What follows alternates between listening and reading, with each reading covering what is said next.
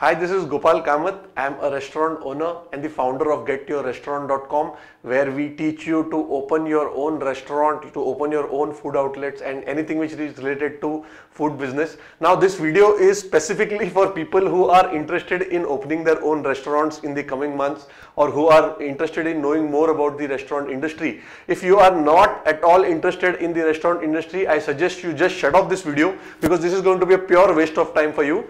this is an in-depth video where I teach how uh, you guys who are not from this industry on opening a, a, a successful restaurant. So here uh, today I have got a specific detailed video for you in which I, uh, I have broken down the steps in order to set up a restaurant in under 8, 8 and a half lakh rupees. Now some of you people must be thinking 8 lakh rupees is a big thing. Some of you must be thinking oh 8 lakhs is such a small amount but I tried to fit in so many things which are required in order to open a restaurant and I have drawn a complete map of this restaurant, a small uh, restaurant outlet kind of and fast food vegetarian or non-vegetarian, uh, which will, uh, this map will help you to understand all the specific components which go into making of a restaurant. Now, why, why uh, am I uh, focusing on the amount, you know? So, I'd like, just like to give you a small example. Now, let's say for example, you have, uh, you have, you are renovating your house let's say you're doing a lot of uh, things like changing of the tiles, changing of the furniture and all that. If you don't fix up a budget, imagine what would be the situation. If you don't fix up a perfect budget, let's say for example 2 lakhs, 3 lakhs, 4 lakhs, 5 lakhs, whatever depending on your choice. If you don't fix up a budget, the costs will keep on mounting because all the other stuff will keep on coming in and you you know then go and start renovating that also, getting this thing new, getting that thing new, and the budget will shoot up and somewhere down the line you will get pissed off. You say, oh my god, this thing is never ending. When is this going to end?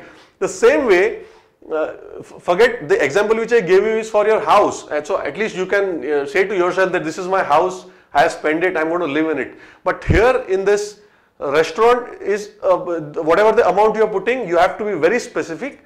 That's why I have uh, started this video by saying that you know you uh, the restaurant should be specifically at around 8 8 and a half lakh rupees. In fact 8 8.25 8 lakh 25,000 exactly to be more precise. So uh, kindly go through this map. I have given a link under the description. Uh, you can download the image. Uh, I have clicked up a photo and put it on this uh, description.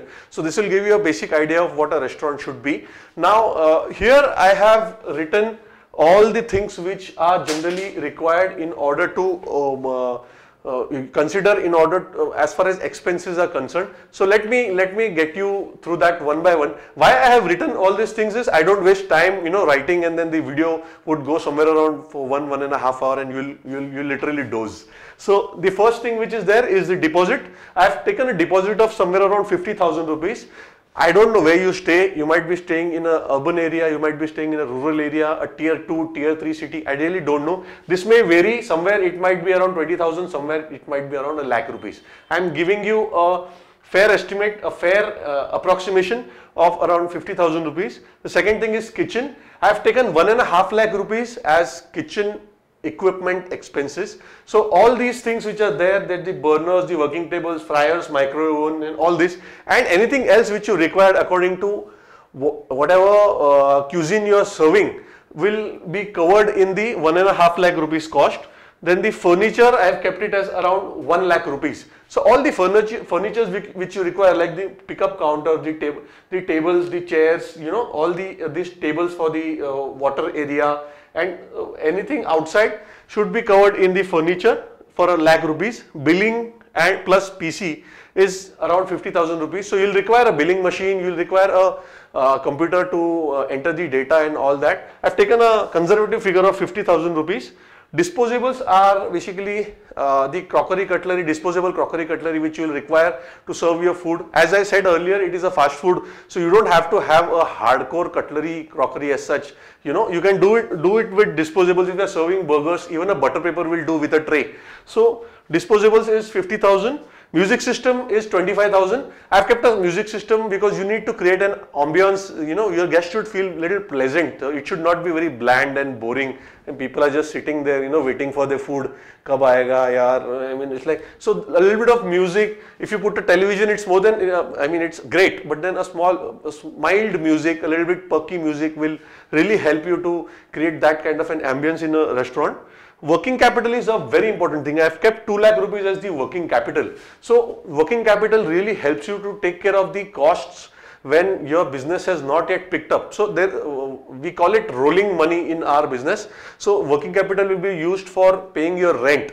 If you uh, if you see uh, properly, I have not put rent here because rent will come in the working capital. Your rent, your light bill, your uh, uh staff salaries, by the time because um, your restaurant is not going to start making money from day one. It is going to take some time. So you know that working capital you use will be able to keep uh, will help you to keep your restaurants finance smooth so that you know you don't uh, you don't uh, come into trouble uh, and go dry as we say. Then the uh, second last thing is the marketing. I've kept a lakh rupees for marketing uh, so that you know you uh, you print your brochures you distribute them you distribute them you do a little bit of newspaper uh, distribute them in newspapers you hand over the flyers and all these if you want to go into my in-depth marketing uh, video just uh, check out this page. I have given an in-depth marketing video in which i list out somewhere around 10 different steps which you can do in order to market your business market your restaurant uh, business. Inventory is around 50000 rupees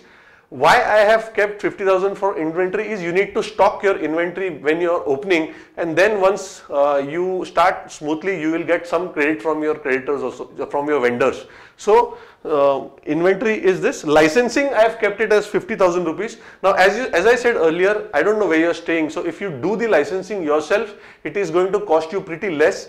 If you give it to a consultant he might charge you around 50,000 or 70,000 depending on uh, where you stay. But licensing is very important. I always say that do everything legally. Don't do illegal stuff because then it is going to bite you and it is going to take this whole thing down. So um, these all things come, uh, these all things total somewhere up to around 8 lakh 25,000 rupees. Now this can go low also if you are trying to save money uh, in uh, furniture, fixtures and giving, uh, giving you an overall picture. If you try to be very conservative, it can come down also to around say 5 lakh rupees or 6 lakh rupees. That is totally up to you. But this restaurant will uh, this restaurant location is ideal for if it is in front of a cafe uh, sorry it, if it is in front of a college a university or if it is front of a, um, a railway station or if it is in front of a area where there is lot of crowd bus stand and a lot of crowd moving in and the price point is also pretty uh, medium. It is not a high price point. You can serve anything here. You can serve indian you can serve chinese you can serve burgers pizzas pastas and all that matter. Why i have kept the kitchen a little bit small is that most of the things nowadays come ready-made. Like you get ready-made gravies you get ready-made uh, tacos nachos everything is more or less ready-made. So yeah, that's why we don't need a bigger kitchen unit. We can do with a small kitchen unit. So go through this video again if you want to understand all the basics. And uh, um, uh, do, do download it. Do share it with your friends and whoever is interested in uh, opening a restaurant in the coming months or interested in knowing more about the restaurant business. I am again Gopal Kamath here. I hope you like this video. Share it, comment on it and stay cool. I'll see you on the next video. Bye-bye.